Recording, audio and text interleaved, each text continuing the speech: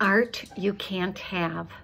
This occasional series is on iconic masterpieces of the history of art. Art you usually can't have. One of these is, for me, The Hours of Etienne Chevalier.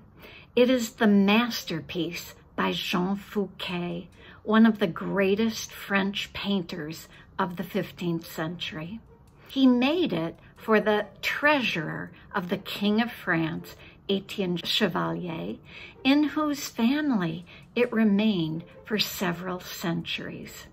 However, in the 18th century, 40 of its paintings were in a Paris frame shop where they were mounted on wood like panel paintings and framed.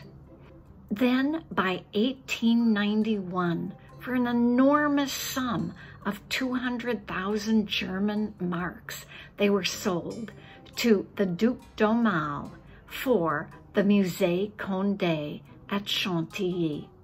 There you can see them on permanent display. Since then, in the 50 years or so since then, several other pages have come up and they are now all in museums. My favorite is in the Metropolitan Museum in the Lehman collection, where you see an amazingly creative scene of the hand of God protecting the faithful gathered on the banks of the Seine from devils that fall from the sky. The river is shimmering with reflections of people that walk along the banks. And behind the river, you see the city of Paris. There's Notre Dame and the bridge with houses on it um, on the right background. It's an astonishing scene.